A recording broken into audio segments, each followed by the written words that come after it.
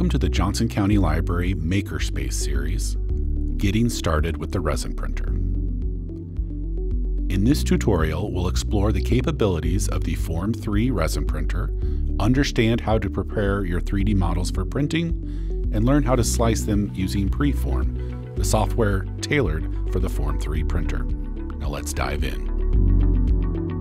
The Formlabs Form 3 is a resin-based 3D printer different from the filament based 3D printers you may be familiar with.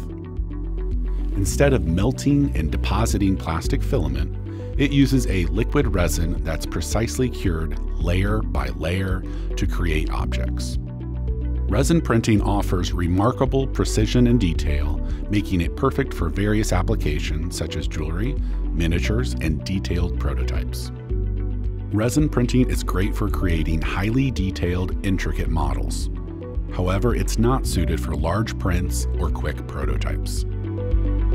You have several options for sourcing 3D models. You can design your own using various 3D modeling software like Tinkercad, which is great for beginners, or for more advanced users, Fusion 360 or Blender.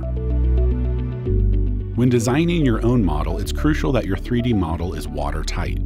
This means there are no holes or gaps in the model's geometry you can repair some models using the Preform software. Alternatively, you can explore online repositories like Thingiverse, My Mini Factory, or Printables for ready-made models. We will take this Medusa model from a repository called Scan the World that scans cultural artifacts. When selecting models or designing, consider a few factors that make a good candidate for resin printing. For detail, look for models that showcase intricate details, as resin printing excels in capturing those fine features. Miniatures, figurines, and jewelry designs often fit this category. In size, resin printers have a small build volume compared to FDM printers. Resin printing excels at detail, but can take longer for large objects. Ensure your model fits within the Form 3's print area and will finish within your scheduled print time. For file format, ensure that the models are available in STL or OBJ file format, as these are compatible with most slicing software. Now, let's dive into the heart of the printing process, slicing your model for the Form 3 using Preform software. Begin by opening Preform and importing your 3D model.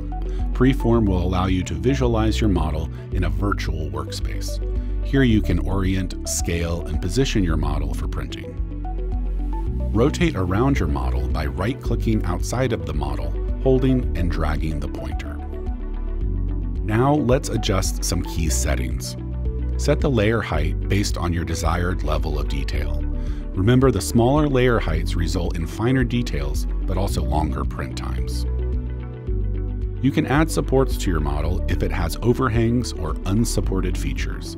Preform will automatically generate these supports for you. We'll want to place the supports on surfaces that are easier to sand or are not aesthetically important. Finally, click the Prepare to Print button. Preform will slice your model into individual layers and generate the necessary instructions for the Form 3. This is a good time to note the time needed to print your model and make sure your print will finish in your reserved time. Once your print is ready to go, the Makerspace staff will take over. Since resin is toxic, our staff will handle the printed parts, removing them from the resin printer and washing them in a bath of isopropyl alcohol following strict safety protocols. After your model has been washed and cured, it is ready for you to take. If your print includes supports, you can carefully remove them with a flush cutter and hobby knife, making sure to wear eye protection to prevent any mishaps. We look forward to seeing your creations in the Makerspace soon.